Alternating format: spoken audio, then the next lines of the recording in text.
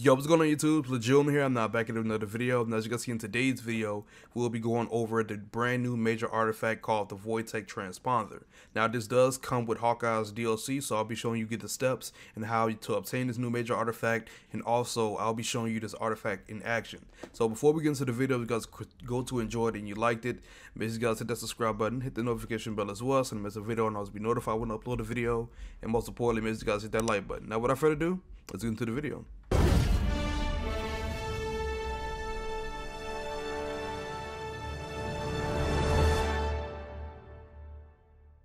Alright now for step one, it is very easy to obtain to be honest. All you have to do is complete the Future Imperfect campaign to obtain step one. Now the objectives that do come with step one, you have to defeat 500 enemies in the Wasteland region. And the second one is you have to open up 25 strong boxes in the Wasteland region. And the third one is to defeat 75 enemies with takedowns in the Wasteland region.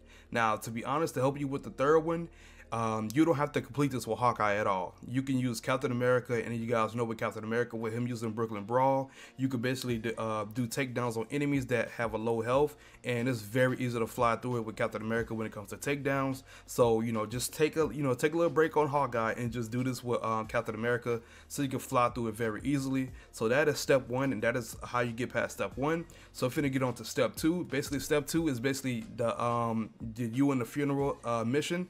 Now this is the only mission in the Wastelands if you go to the Avengers Initiative for multiplayer. So this is very easy to do. It's legit no problem at all to do this mission. It's a threat sector, so it's really not that much going on. So that's how you complete step two. Now, step three, this is when everything gets kind of difficult uh, for people. So we're finna get into that real quick. Alrighty now for step three, this step is called In Pursuit of Maestro. And these uh, this step is basically you have to do two villain sectors for Maestro. Now if you check on the uh, Avengers Initiative, you will see there's only one mission to run. Now this is when things get a little bit difficult you have to uh, go offline. You have to go to your PS5 or your Xbox and just turn off uh, the internet uh, for your console. Then you load up Avengers. Then you go on. If you get lucky, you're able to see the two villain sectors uh, for Maestro. You have to go to the Shield Substation Zero. Then you will be able to see uh, the two villain sectors for Maestro, the Symphony in the Gamma Key and the Days of Anger. Now you have to complete these villain sectors. They are pretty straightforward and they're pretty fun to be honest. And I like them. It was I don't know why you have to go offline to really do it. Now there's some instance, instances where I've seen people were able to get it off of just a reset. So basically if you get lucky enough, if it's if it's a reset, then you'll be able to get it. Now, if you're not getting it, just go offline, and there's a high percentage that you will get it because I've seen a lot of people go offline and they're able to get it. And once you obtain these missions, if you're going offline, uh, go turn your internet back on on your console, then do the missions because next step is going to require a lot. So if we get on to step four, then that's when you obtain the major artifact. So let's get to step four. Alright, It for the last step is called Evil Ends. Now, Evil Ends for this objective, you have to defeat Taskmaster, Maestro, Abomination, the Warship, and the Warbot. Now, currently in the game right now, if you run Elite Villain Sectors, they will disappear from your war table, and I don't know if there's the way they could come back, to be honest. So I would say do not run this. You don't have to do the Villain Sectors himself to complete this. I learned it the hard way because uh, some of my Villain Sectors did disappear. So there's a way you can do this. You don't have to do it. Now, I'm going to let you know guys know where you go to complete these steps without having to do villain sectors.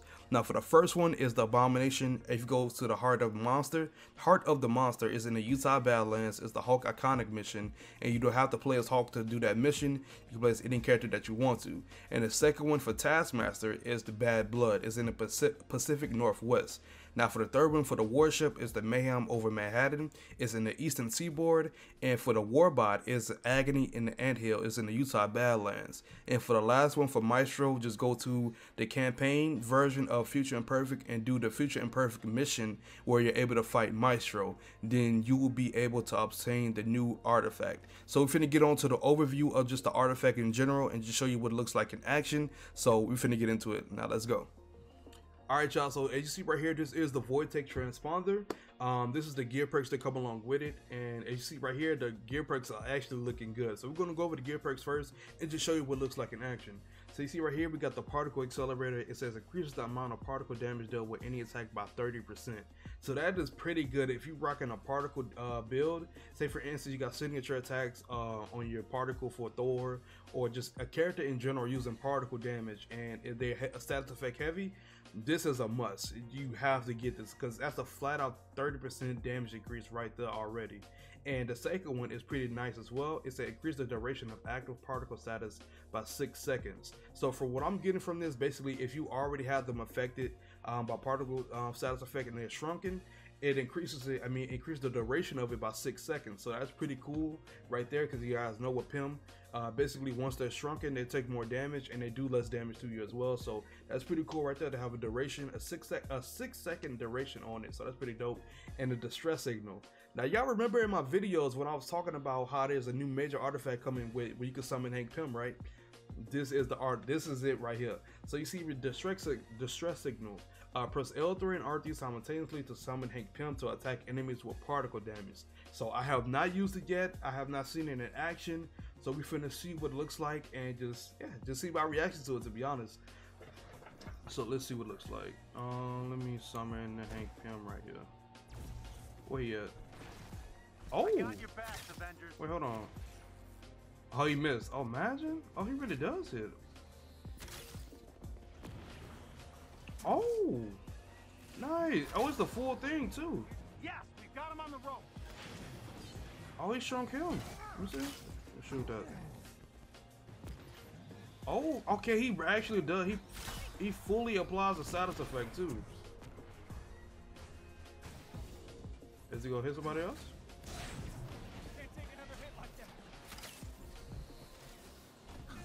So it looks like he actually takes damage as well when he's getting hit.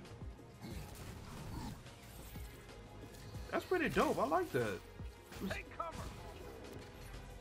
Oh, he just shrunk that dude over there. Oh, that's dope. I like that. Nice. I ain't gonna lie, that's pretty dope. The resistance will always have your back. Alright, then he's gone. Low key, that was pretty dope that was pretty dope. I like that. I think he stayed out for like a minute right there. That was pretty dope. I like that. The fact that he could just once once he hit him with the um the pimp like the cannon, it instantly shrinks them, so they're instantly affected by the status effect.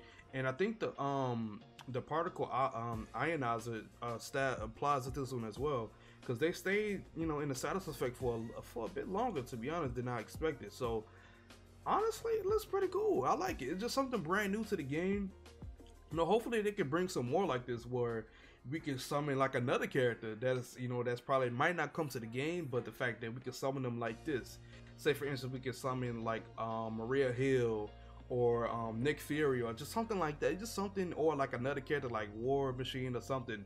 Just in general, just something like just to make it look out the box. To be honest, something like this because honestly, I like this. I like the artifact like this. We could summon people, and it's actually something brand new to the game. So um yeah, I have to say I actually like this artifact. I'll probably go end up using it anyway because um just that particle accelerator, it is it's too good to not to not have it if, you're running particle damage. If you're not, then you know you know it don't really bother you. But if you're running something with particle damage, you this is a must. Screw the tactigun, screw the tactigun. This 30% flat out damage increase right there if you use particle damage, it's a must need. It's a must need. But um, yeah, that is basically the new artifact, the Void Tech Transponder. Let me know how you guys feel about it in the comments below. If you guys like it, you like something brand new like this, um, you know, just leave your feedback in comments below. Let's see if we can get more things like this. Cause honestly, I like it. But um, yeah, that's the end of today's video. I really guys enjoyed it, the video as I enjoyed making it. Um, before we head out, if you guys are not, make sure you guys subscribe to the channel. Don't forget to turn on post notifications to miss a video, and also be notified when I upload a video. And most importantly, make sure you guys hit that like button. Now, if you guys don't know as well, I do have a Discord. It's called the Junior Cave. We go everything dealing with Marvel's Avengers, Got Gotham Knights, Outriders, just games in general. So if you guys want to join it, the link is below as well. And also, I do stream on Twitch. So if you guys want to come out to the Twitch streams, the link is below for that one as well.